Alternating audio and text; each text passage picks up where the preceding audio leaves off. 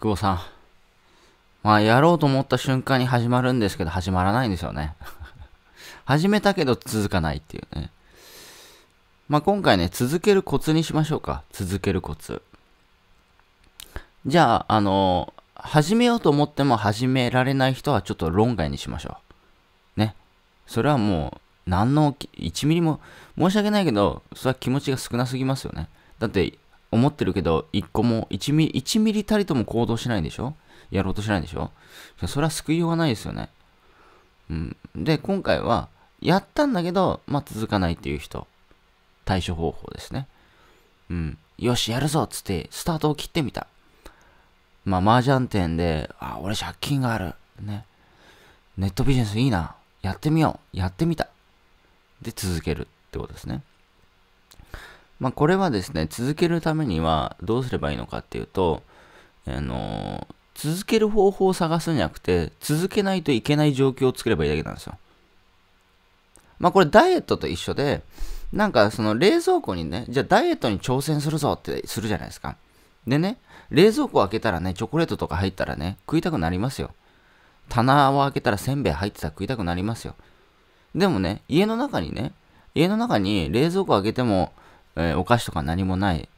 えー、棚開けてもお菓子とかは何もない。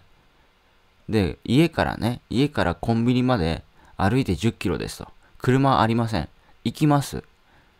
夜中お菓子食べたいな、っつってね、10キロ歩いてコンビニまで行きますから。なかなか根性ありますね。お菓子のために。ダイエットしたいのに 多分行かないですよね。夜中10キロ歩いてコンビニ。往復20キロですよ。大丈夫ですか？たったポテチを買いに行くために まあ、要は何かっていうと、続ける方法じゃなくて、続けられる環境を作るってことですね。てか、続けないといけないというか、続けられる環境を作っていく。うん。これが大事だと思います。うん。考え方とかね、マインドで、おりゃーってやる方法もあるんですよ。でも、おりゃーってできないわけですよ。ほとんどの人が。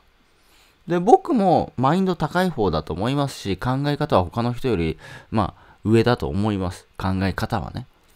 いろいろ勉強してきましたから、いろいろ研究してるし、独立もしてるし、独立して5年やってるし、一応。だから一般の人よりかは一応いろいろ考えてると思います。ただ、に僕も弱いところがあるので、まあ、やらないといけない環境を作ってます。まあ、僕だったら、まあ、商品売りますよとか、プレゼントしますよっていうコミットをして、えー、コミットをすることによって、自分で、あ、やらないと。お客さんに言っちゃったからやらないといけないっつって、その環境を作って続けるってことですね。だからそういう、なんか、あの、方法を探すんじゃなくて、環境を作ることが大事ですね。うん。でも、てか、これしかないんじゃないですかね。